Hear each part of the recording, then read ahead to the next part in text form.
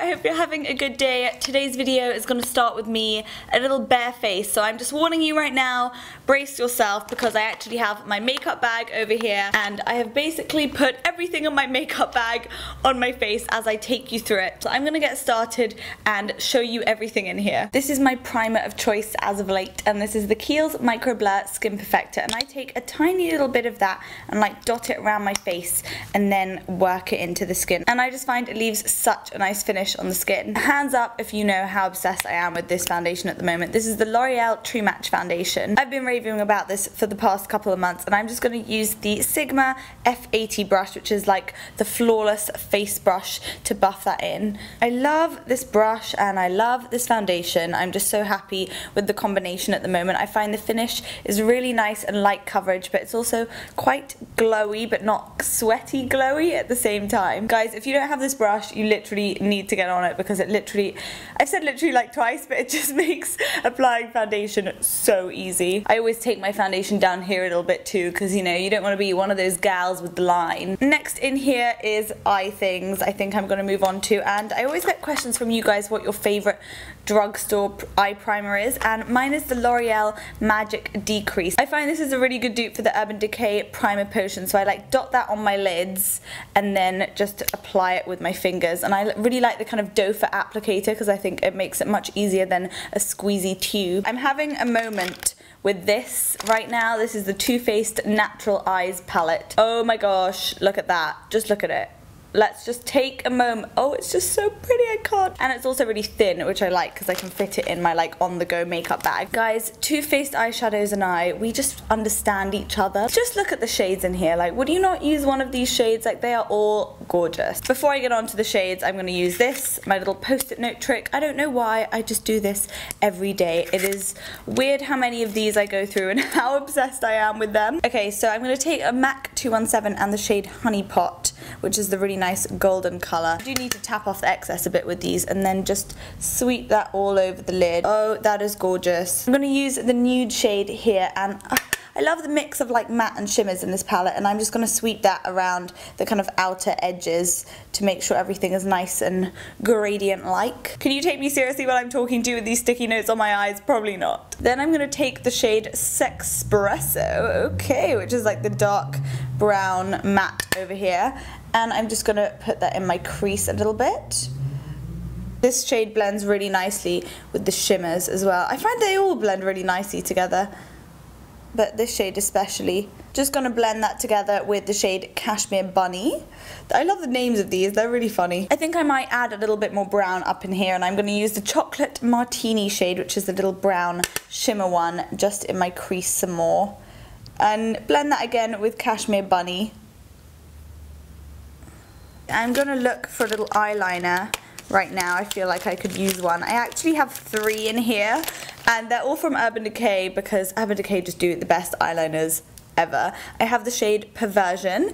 I also have the shade Smoke which is more of a matte grey and then I also have that ink for eyes. I think I'm going to start with that ink for eyes and do a little feline flick sort of situation because I find these sticky notes make that quite easy. The other day my boyfriend was like to me, those lines on the corner of your eyes, they're really cool. Those lines on the corner of your eyes, like hashtag shit my boyfriend says. Actually, speaking of shit my boyfriend says, the other day he goes, you know what, your hair is so nice and frizzy. I was like, that's not a compliment. I think he meant it as a compliment, but it just, I don't know, is that a compliment to you guys? What do you think? I didn't feel complimented, I was just like, um, okay, thanks. I mean, it was raining that day, so my hair was looking a bit like rain kept, you know, when it goes a bit like rainy. That eyeliner is now done. What do you think chances are that I can get this one to be the same?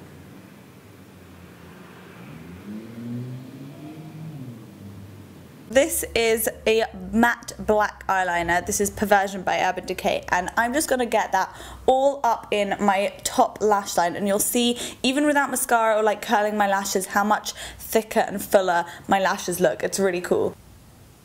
I find if you close your eyes, it's much easier. Can you see the difference in these two eyes now? This one is the one that I've like lined the upper lash line and my lashes look a bit more like thick and black even though there's nothing on my lashes at the moment and these ones are in desperate need of a bit of liner. And I like these Urban Decay ones because they don't transfer onto your bottom lash line and they kind of stay up there. Get my little eyelash curlers, these are the Japanese ones, and give my lashes a good curl. I did stay out quite late last night night, so I am in desperate need of some lash curling. I'm just going to remove my little sticky notes now and you can see there's quite a harsh line where you remove the sticky note but I just take whatever's left over on my MAC 217 and just like blend out the edges. Time for mascara. I don't even remember what mascara I have in here. Oh, I have the Max Factor Clump Defy which I use all the time. It's just a really good all-rounder. Along with loving the True Match foundation, I'm also carrying around with me the True Match concealer which I recently picked up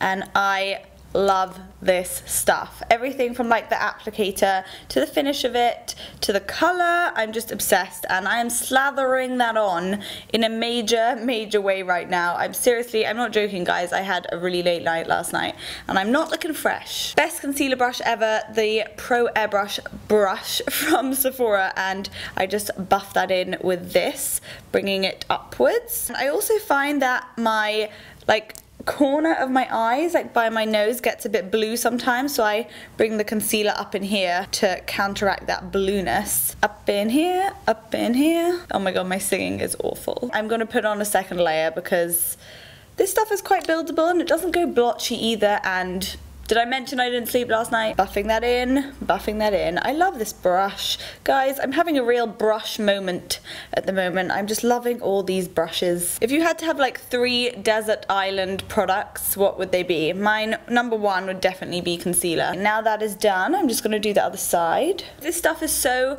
like light and creamy, but still has quite good coverage to it. So I literally just apply as much as I need, which is a lot right now. Just gonna do it around my nostrils as well, they get a bit red. I do have quite a Rudolph nose at times, as you probably saw at the beginning of this video. By the way, when I say Rudolph, I mean like Rudolph the Red-Nosed Reindeer, get it? Get it? Ah, oh, funny. You know what, I'm just gonna put everything in this bag on my face today. That is how this video is gonna go down. I am using the Real Techniques multitask brush and the Dream Wonder powder from Maybelline, which I am obsessed with. And I'm just gonna dab that in. I've been reaching for this like over every other powder I own, even like my Holy Grail Chanel powder. As soon as you put it on, you can just see that it's like blurred over all your pores and everything. It's so cool. Oh my god, I've been dying to show you guys this. This is the new Clarins Summer Bronzing Compact. Oh no, this is the old one. Where's the new one? Oh, here it is. Okay, this is the story behind these two. They brought out this one last summer. I was beyond obsessed with it. I thought it was the best thing ever, but it was limited edition, so I kind of stopped talking about it because I felt really bad, but they have brought it back out and it is so darn beautiful and also one of my favorite bronzers in the whole world because it's quite peachy and it's also quite cool toned as well. I'm going to apply this with a large angled contour from Sigma and you can just see how nice it is. Just around my little hairline over here around my cheeks, around my jawline. Look at that. This is like the healthy side of my face right now, like the bronzer side, and this is like the dead side. I love this bronzer so much, and I find that it never like fades or goes patchy or uneven. Like I'll get home at the end of a long, sweaty day. Not that I sweat every day, but like if it's hot, and uh, this still looks amazing. There's also another cool thing in here I want to show you. This is the NARS Contour Palette, and I am using the shade Paloma and I'm just going to show you this to contour my cheekbones because I really, really like this contour shade. I'm just to sweep that here, give me a little bit more definition. What do you think? It's really nice, isn't it? The highlighter in here isn't my favorite. It's nice for the daytime because it's nice and matte. For the evening, I do like a bit more shimmer. So I'm just gonna sweep this highlighter over here. It is really, really subtle. So if you're thinking like you don't like shimmer or kind of like sheeny highlighters on your face, this would definitely be the one. I'm using this SUQQU liquid eyebrow pen today and it's actually in the shade Moss Green, which sounds kind of funny, but on dark kind of like almost black eyebrows like mine, it works really, really nicely. Can you see what I mean? It just fills in all the gaps, but you can't really tell that it's there, which I quite like because it looks really natural. I'm gonna add a little bit of blush that I just found buried in here and this is the Jordana Coral Sandy Beach blush which I really think is so cute and pretty. Can't go wrong with a peachy pink blush. Do you know what, how many other lip products are in here? Okay, let's count. Actually, not that many, but quite a lot for me. I have a lip liner from Charlotte Tilbury, a Kiko lipstick, a Revlon lip crayon, a Too Faced Melted Liquid Lipstick and a Maybelline Colour Elixir. I'm going to start with the Charlotte Tilbury Lip Cheat Lip Liner because it is so good. I kind of put that all over my lips sometimes because I really like the colour of it too. Oh, decisions, decisions. I might go for the Revlon Colour Burst stick first. That was that was a tough choice. This is in the shade Demure and it's quite nice and glossy which I really like. I think I need some bottom lashes as well. This is the Clinique Bottom Lash Mascara. Mine's almost out. I know it's kind of funny to pay for a mascara just for your bottom lashes but I thought that only because I hadn't tried this and seen how awesome it was. This makes like bottom lashes really easy and they still look really natural and like they don't cake together and the formula of this is awesome. If you have like oily eyelids this won't budge on you. I think I might be bit naughty and put on another lip product. This is the Too Faced Melted Liquid Lipstick in Melted Peony.